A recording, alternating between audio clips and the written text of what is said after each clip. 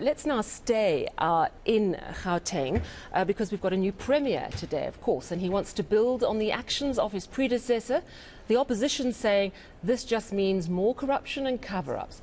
Here's the moment Panyaza Lesufi defeated the DA Solly Msimanga in the Gauteng legislature vote today. 22 for Honorable Msimanga and 38 for Hendrik.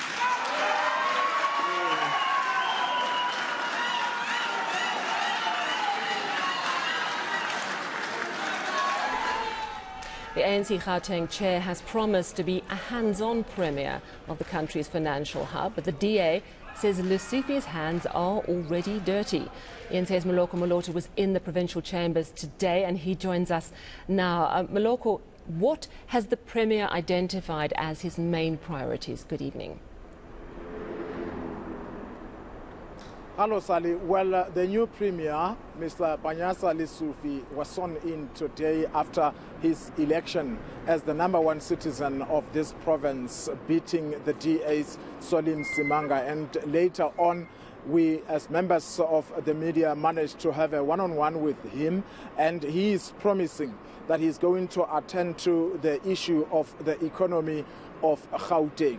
But he also promises something that he says would be non negotiable, saying that it is even likely to cause more enemies. That is the fight against crime, the fight against lawlessness, but also the fight against corruption.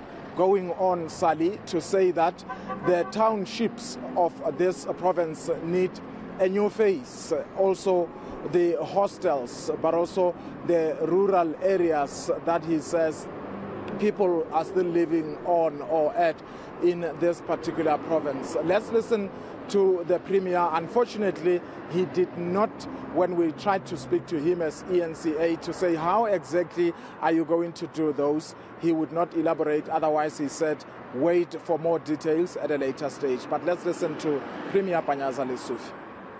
Let's go and uh, assess the capacity here because you can't pronounce and the capacity does not meet uh, the. Pro- I worked in government as an administrator before, and I've seen ministers announcing when things don't have budget, you don't have plans, you don't have personnel. So I don't want to fall in that trip.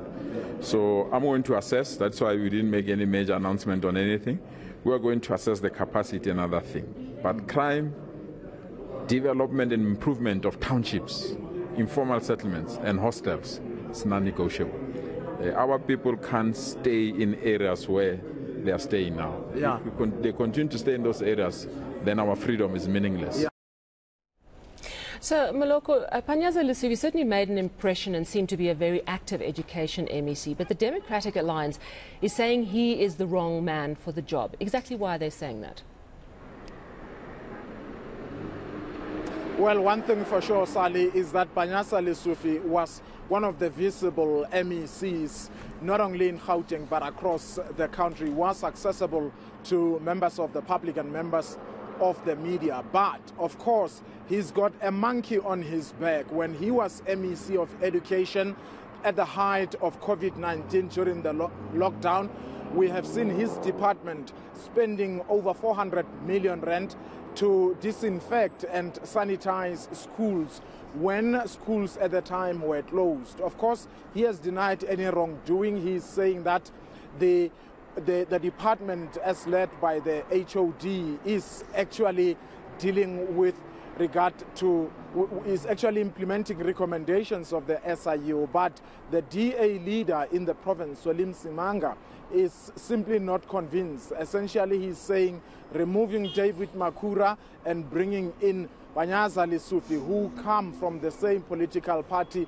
He's saying they report to the same provincial executive committee. He is not convinced that there's going to be any changes. But let's listen to Mr. Solly